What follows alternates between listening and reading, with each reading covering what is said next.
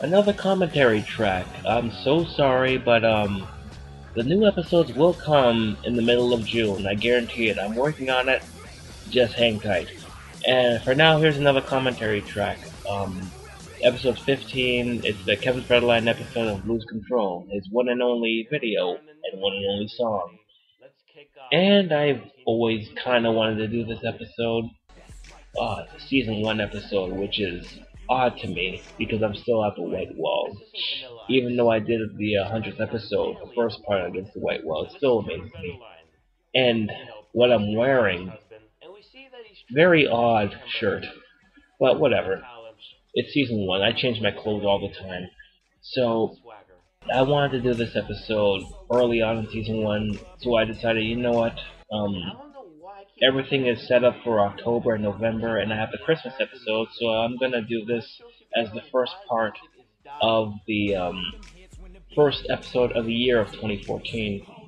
So this was really fun to write and shoot and edit. This is one of those episodes where it's like, yeah, I was, I'm pretty sure I was on the whole time, and I agree. Like a lot of people agree because people in the triple digits actually ended up watching it. A lot of people like this episode. I like how this episode turned out. Mostly because, like, I'm making fun of this guy. I'm making fun of his so-called swagger. I'm surprised it got a lot of mileage out of, like, the music video, which is set at a club. You're a superstar? A Uh. superstar of what? Your trailer park? yeah, like, in hindsight, I was a little cruel in this episode, but you know, this isn't he's not the worst musician. And again it's he's he's just gambling at a casino. Gambling away Britney Spears' money. I'm I'm assuming.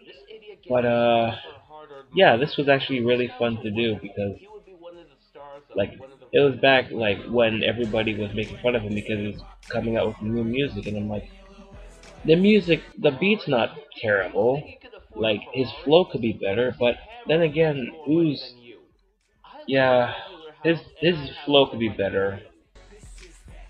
But I could see this guy like, I mean, he's in obscurity now. But um, I like to thank him for making a music video that. Made like got me triple digits in terms of the view quality. Um, man, I can't believe I got. I, again, I can't believe I got mileage out of a video shot in a club. I just like, but then again, I did the video thing. I looked at the lyrics. The lyrics I wasn't supposed to do, but it's like, what else can you talk about? You're just gonna make keep making fun of him. he can't be a one-hit wonder. You can't top a song that went nowhere. Yeah, that's. Can't believe I. That's one of the lines I wrote. I mean, I wrote the episode obviously. I was at work thinking about this, and I was like, like thinking about writing it, and I'm like, okay, I got this. And um, I couldn't think of much to say after a few minutes, so I decided, you know what? I'm just gonna go ahead and ask you some questions. And the questions came from um, what's it called? The Mystery Science Theater episode Hobgoblins, which featured the Bots asking a cardboard cutout um, version of Rick Sloane, the director of Hobgoblins, questions that were very mean. And it's like, did you have brain damage? And it's like, yeah, I want. He's like, you know what? I'm just gonna ask this guy some questions on par with like the Mystery Science Theater episode of that. And uh, yeah, that's what happened. I just decided to come up with a few questions, a few funny questions, and it took me what a couple of days to write those questions. And yeah, they were cool, yeah, but you know, whatever. Like he was already ridiculed from the moment the song came out. Everybody was making fun of him, so yeah, I feel like you know I was a little bit late, but you know what? People still watch the episode, and I still really enjoyed how this turned out. So many good memories. Still, you know, it's season one.